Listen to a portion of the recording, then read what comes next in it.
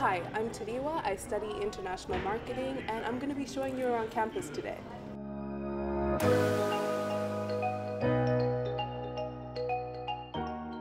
I would describe my study program as very practical.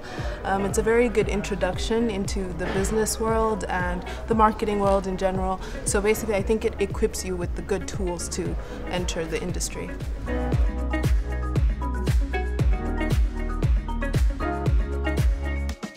So I actually chose marketing because when I was younger, I used to enjoy watching the adverts rather than the actual TV shows or the movies. So I knew that I wanted to study marketing and when I saw what they offered in Venlo, like the specialization and the courses that you get to incorporate, they really focused on marketing. So that is how I knew I wanted to study international marketing, specifically here as well.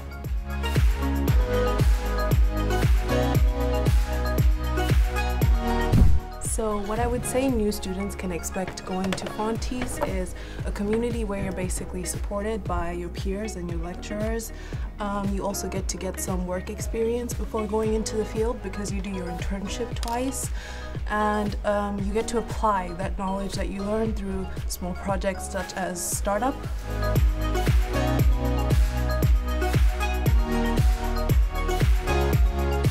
So why I chose the Netherlands is because I generally just love the Dutch culture. I heard they're very friendly people and that is actually which I have experienced.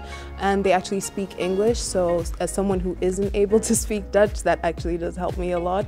And the reason why I chose Venlo is because it's a small city and I didn't want to move from a small city to a big city and yeah so it's not a village it is a city but just smaller and that's what I appreciate about it.